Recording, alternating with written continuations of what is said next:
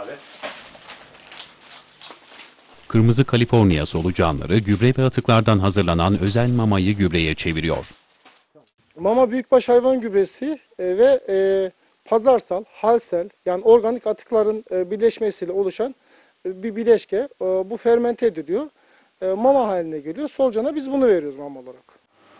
Solucan gübresi kullanıldığı topraktaki mikropları temizliyor.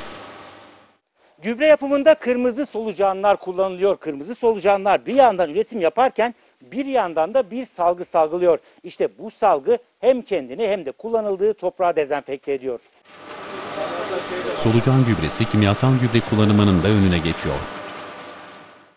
Bir kere kimyasal gübreden e, kurtuluyoruz.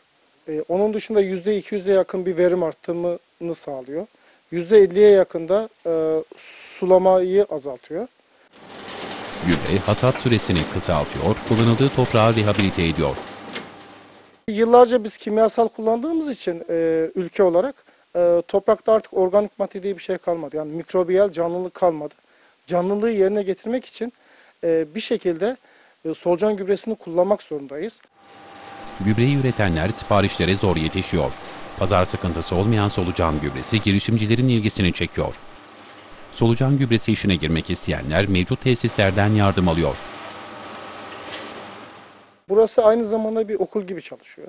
E, buraya öğrenciler gelirler, e, işi öğrenirler.